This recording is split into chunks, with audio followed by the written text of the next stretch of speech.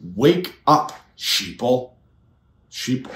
The word sheeple is a portmanteau, which to me sounds a bit like some exotic species of whale I'd never heard of until I read about it. But that's actually not what portmanteau means. A portmanteau is a compound word.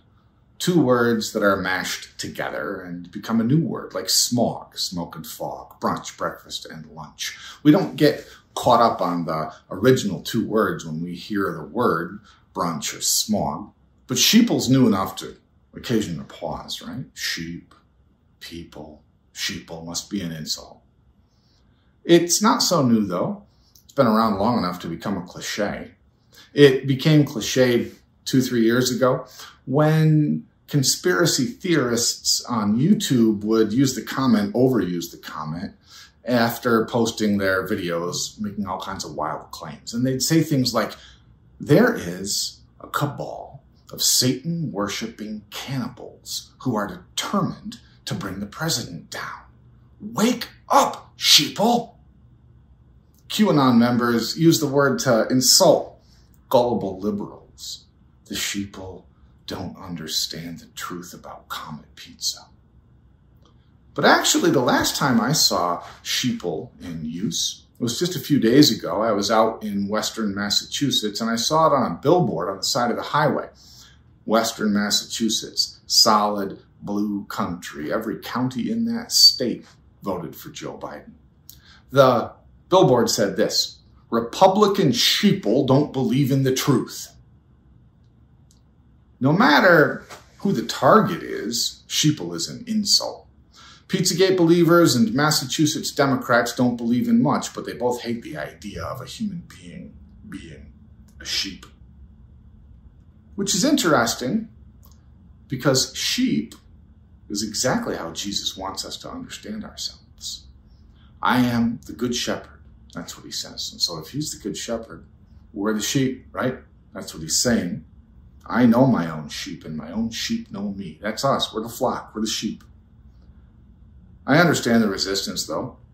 I try to follow Jesus, but I totally get the resistance. It is in me, bone deep, like it's in you. You don't want to be a sheep. You don't want to be sheeple. You want to think for yourselves. My older sister is a restaurant professional and a food person.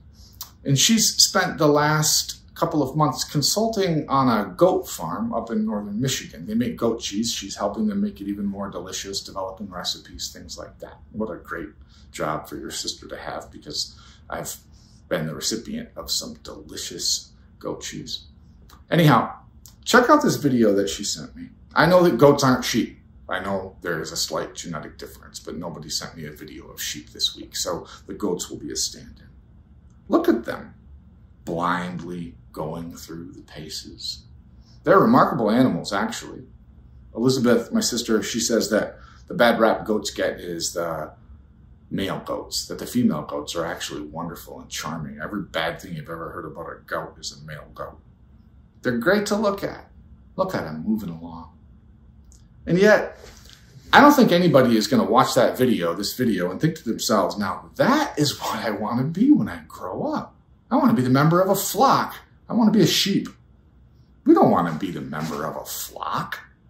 We want to be ourselves. Be yourself, right? That's the great American mantra. It's why the Democratic Party in Massachusetts hates sheep, the very notion of sheep. They believe that each one of us is an independent, logical, rational individual. They believe it. I believe it. You believe it. We believe it. It's written into the DNA of our country. We are capable of thinking for ourselves as individuals. And really, we're at our best when we are at our truest selves, right? That's the belief. Be yourself.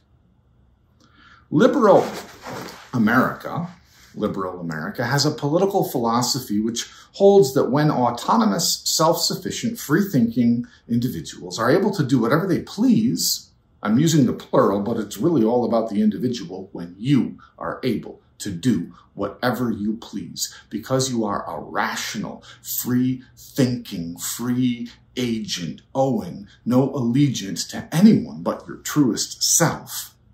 When this happens, we reach our highest good. individually, certainly, but also collectively. Come on, sheeple. Think for yourself. Don't just blindly follow the herd. Weirdly, this kind of liberalism is what lets conservatives, it's what is letting conservatives right now sidestep the call to overhaul the policies and the culture that allow and encourage even police to kill black people. That is how bone deep in America liberalism runs. Come on, sheeple.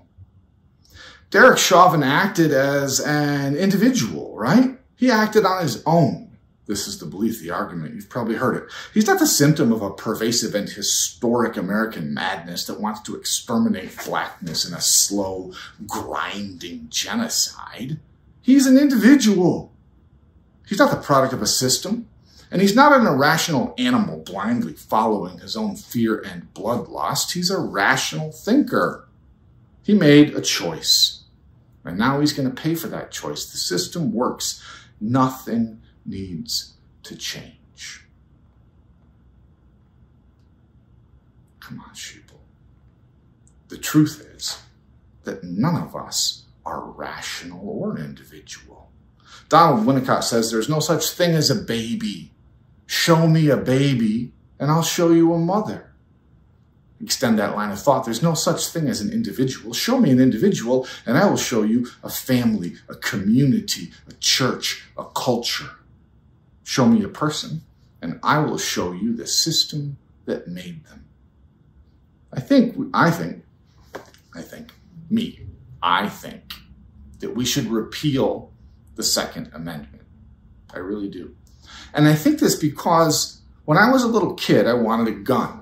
Every other kid in my fifth grade class was taking hunter safety, and my God, I wanted to do it too. I wanted a 22 rifle. And my dad sat me down and he said to me about that.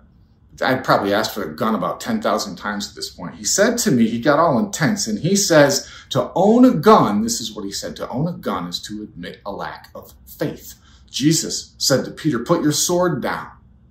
More than that, he said, to own a gun is to assume the role of God because you're ready to take a life. And life isn't ours to take that got right in my mind and in my heart. My cousin lives in Tennessee. Recently, just last week, he posted a photo of an assault rifle, his assault rifle, with a new scope, leaning on a wall next to one of those wooden signs from Target that have sayings on them. And the sign said, blessed. Now, he believes God wants him to own an assault rifle because he spent his entire childhood and adolescence in a church which pounded that message into his head like an insistent drumbeat. We didn't reach these positions on our own as free thinking individuals. We were guided, shepherded, we were sheep. QAnon believers who laugh at sheeple are following the dictates of Facebook and YouTube, al YouTube algorithms, right? That's how they reach their conclusions. They're being guided by these algorithms that steer them toward hateful propaganda, which grows increasingly intense with every 25 clicks. That's how it works. That's where their shepherd is leading them. And even if you could escape every influence that has ever shaped who you are and how you think and what you hold dear, you spend your entire life on a desert island free of influence. Even then, you're still not rational. Maybe you're an individual, but you're still not rational. Instead, you find yourself following the demands of your own appetites, your own animal desires, suffering what Stanley Hauerwas calls the tyranny of your own desire. We're not individual, and we're not rational. Wake up, sheeple. The question isn't, are you going to be a sheep? That question has been answered, and the answer is bah. The question is this Who's your shepherd? Who is your shepherd?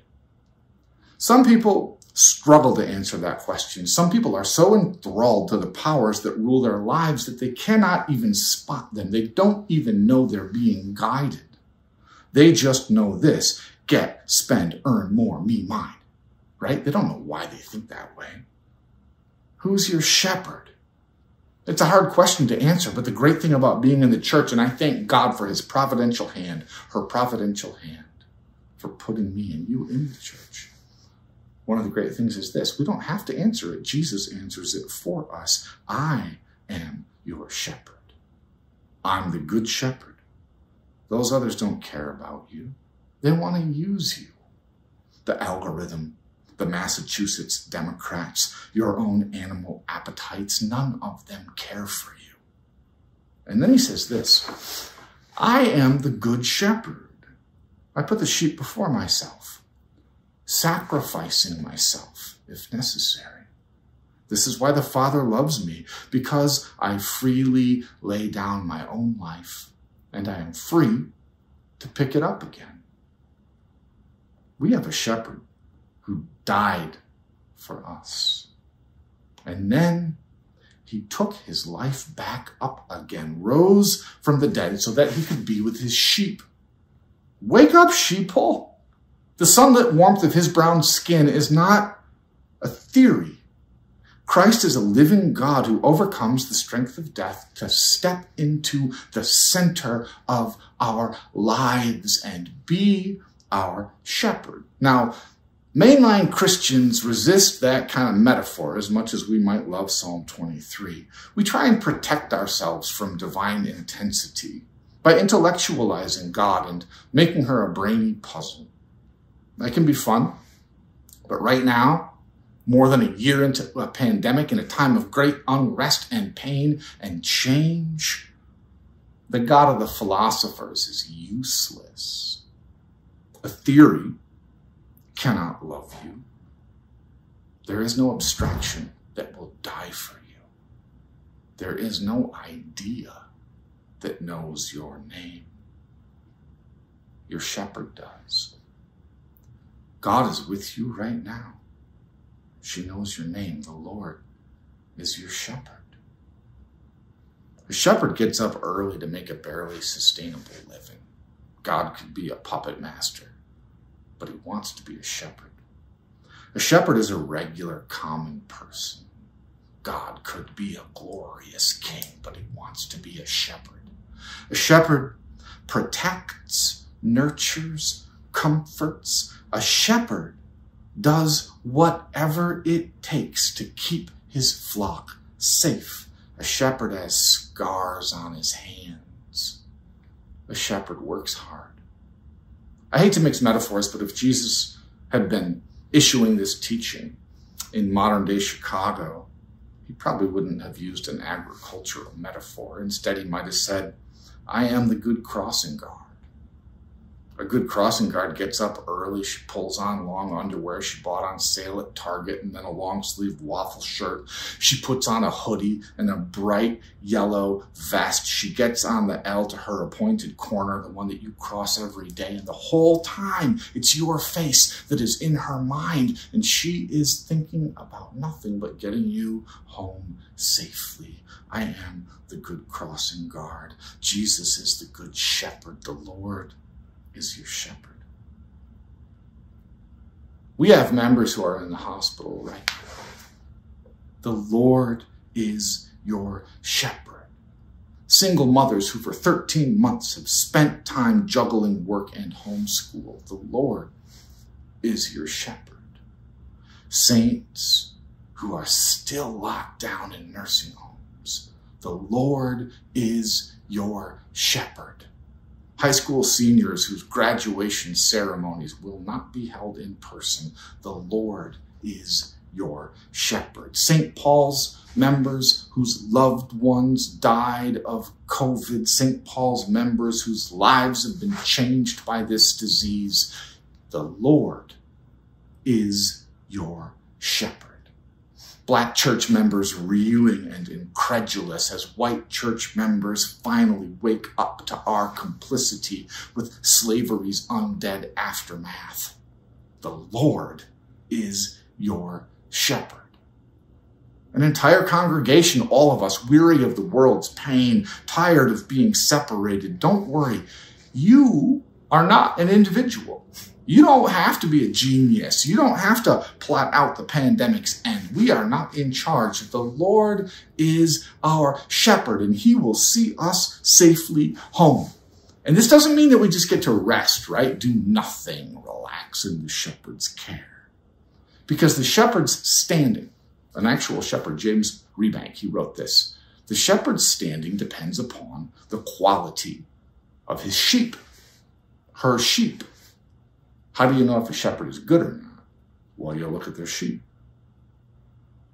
God needs us to be at his very best. The psalm says this, the 23rd psalm, for his name's sake, right? The Lord me, the Lord leads me in righteous paths for his name's sake. What do you think your secular friends think when they realize or are told that you belong to a church that loves lesbians? The Lord makes us walk in paths of righteousness for his name's sake. I bet they think about God a little bit differently because of who you are and the flock that you belong to. If the sheep aren't at their best, the shepherd isn't either. The Lord is your shepherd. And he wants you to shine. And he wants to protect you. And the way he does this is with words more often than not. I want to read a list of Jesus' commands to his sheep. Imagine if we all had the courage to surrender and admit that we are indeed in his flock. Here's what he tells us. This is every command that Jesus gives in the New Testament. This is his rod, his staff. This is the feast that he gives us in the presence of our enemies. This is the oil he pours upon our heads. This is his teaching. There is a revolution in these words. And there is ancient, neglected truth. Listen carefully. Love God before money. Pray. Don't be a hypocrite. Be merciful. Have faith. Give to the poor. Love yourself. Love others just as much. Forgive. Temper your anger. Keep your promises. Love your enemies. Pray for your enemies. Be reconciled to one another. Do not judge. Be peaceful. Wash each other's feet, put your weapons away, seek the lost, preach the gospel, let the last be first, exalt the humble, love the poor, turn the other cheek, go the extra mile, repent, take up the cross, rejoice, and be glad. The Lord is your shepherd. That is his care. Amen.